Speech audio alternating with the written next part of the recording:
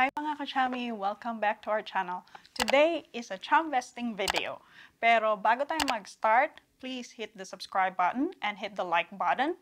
And now, on to our topic. Okay, so ngayon pag-uusapan natin ang chum vesting which is stock investing ngayon. Paano ba tayo mag-start ng stock investing? If napanood nyo yung first video ko about uh, financial freedom, tinutukoy ko doon or sinasabi ko doon kung yung mga different ways kung paano tayo magkaroon ng passive income. So, isa doon is yung stock investing. Paano ba tayo makapagsimula ng stock investing? Well, first, kailangan natin magkaroon ng uh, account sa mga brokers ng stocks. So, sino-sino ba tong mga brokers na to? Well, paiba-iba to. Depende kung anong stocks ang gusto nyo i-invest. But don't you worry, sasabihin ko sa inyo yung mga brokers kung gusto niyo mag-invest sa Philippine stocks, sa Australian stocks, at saka sa US stocks. Yan na lang muna. Kasi yung iba, hindi ko alam kung anong mga uh, brokerage nun. So, first, sa Philippine stocks, saan ba tayong pwede makapag-invest? So, maraming brokerage sa Pilipinas na pwede tayong mag-open ng account. So, kailangan natin mag-open ng account, first and foremost. Isa is Call Financial. Meron din sa mga banks like uh, BPI, Trade, uh, BDO Securities, First Metro Sec, for Metro Bank. Yun. Uh, marami pa namang iba. Meron atang uh, Phil Equity at uh, To Trade Asia.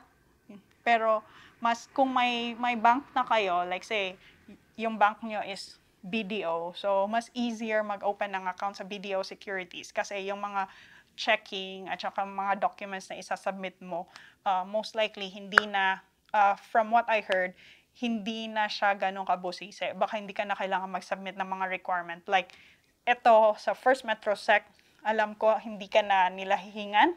Like, mag-fill out ka lang ng form. Pag may account ka na sa Metro Bank, yun, ililink na nila. Less validation na yung kailangan. Pero pag wala kang account sa BPI Trade, BDO Securities, or First Metro Sec, yun dadaan ka dun sa process ng screening nila.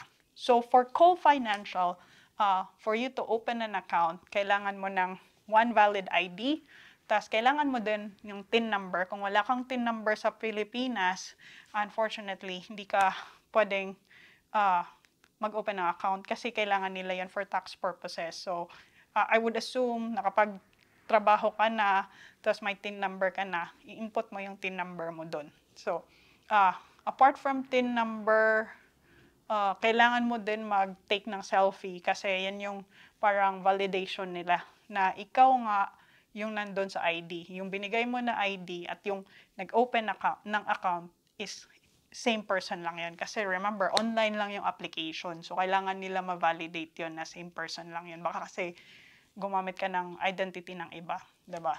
So, 'yun. Uh, kailangan mo din mag-submit ng copy ng signature mo, like signature specimen. After nun, pag na-validate na nila, okay na lahat. At nga pala, kailangan mo din ng bank account. So, yung account na inopen mo sa brokerage mo, uh, dapat same siya ng bank account. So, say, if ako, nag-open ako, yung pangalan ko is, uh, say, Gavin, nag-open ako ng account sa Co Financial, dapat yung bank account na nilink ko doon sa Co Financial ko is Gavin din. Same, ako din yung may-ari ng account, hindi pwedeng ibang tao. So, ganun lang yung mag-open ng account. Same goes doon sa ibang brokerage. Like sa First Metro Sec, uh, nag-open ako ng account doon and dahil hindi naman, wala naman akong Metro Bank na account, uh, hiningan ako ng PIN, kagaya ng Coles, uh, two valid IDs. Tapos, pag hindi ka naka-base, like sa Pilipinas, like ako, OFW naman ako, ba diba? So, hihingan ka, rin, hihingan ka din nila ng, ano, uh, contract mo, employment contract mo. Tapos, to validate din, kasi overseas, overseas ka, tatawag sila sa'yo.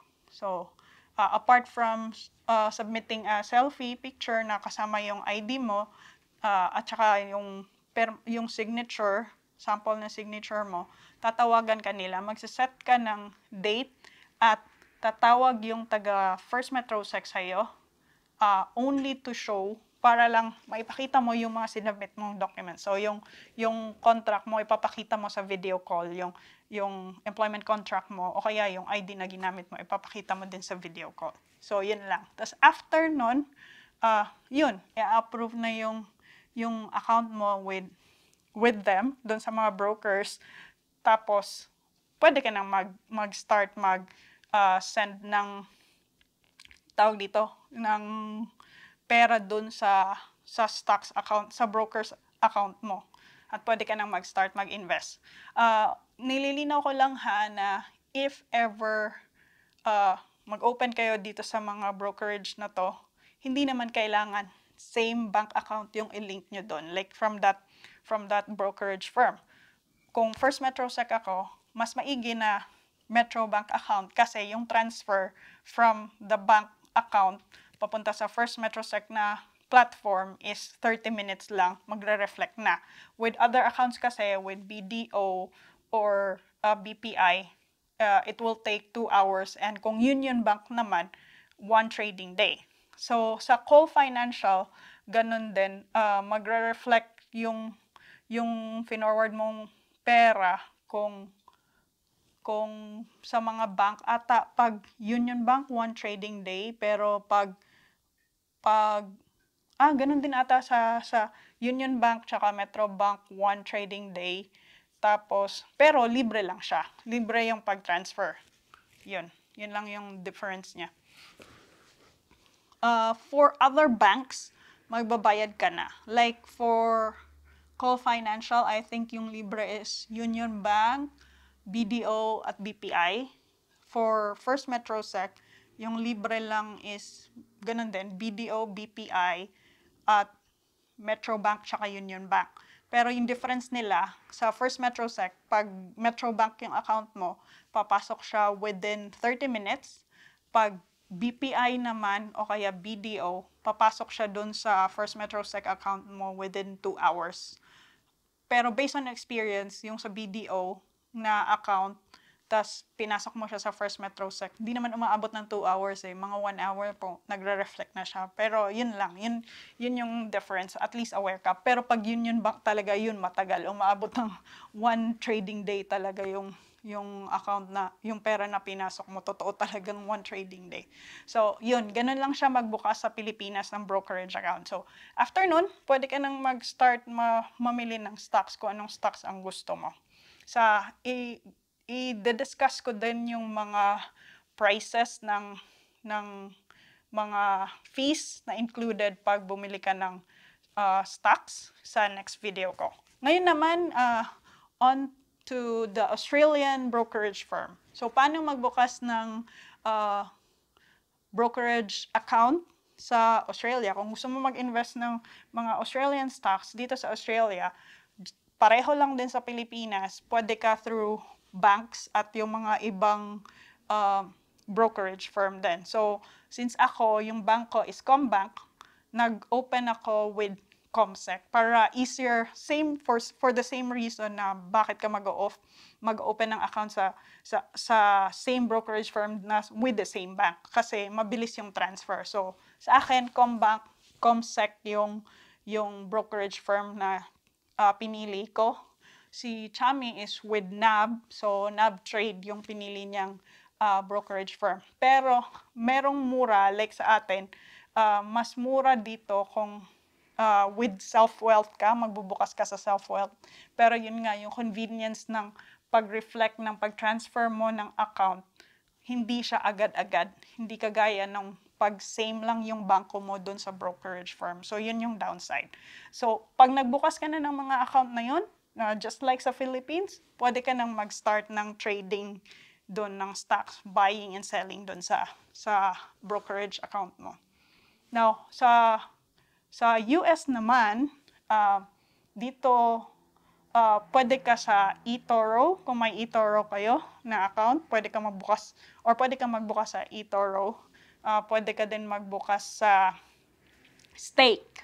Uh, yung mga requirements pala kung Australian resident ka or Australian citizen ka is kailangan mo ng passport and like sa or any valid IDs dyan sa country of uh, citizenship mo. Tapos, TFN, which is equivalent sa TIN sa atin. So, for tax purposes din yan. So, kailangan mo ng TFN. Tapos, uh, proof of billing. Kung may ID ka na nandun naman yung address mo, pwede na yun. Yun lang yung requirements nila. Tapos sa eToro pala may mga questions pa yun. May sasagutan kang questions before nila ma-approve yung uh, pag-open ng account mo, yung application mo. Pero sa stake, hindi na kailangan yun. So sa stake, kay isubmit mo lang yung mga uh, requirements na hinihingi nila. Yun, pag na-approve na, pwede ka na mag-transfer ng pera at pwede ka na mag-start ng stock trading. So, yun na muna guys. Uh, sa next video, tatalakayin ko na naman yung paano mag uh, paano yung mga charges dun sa uh, stocks na binili mo for buying and selling sa Pilipinas. So, eto na muna. Uh, if you haven't subscribed to my channel, please do and hit the like button. Always remember to keep the faith and go for it. Peace out. See you on the next one.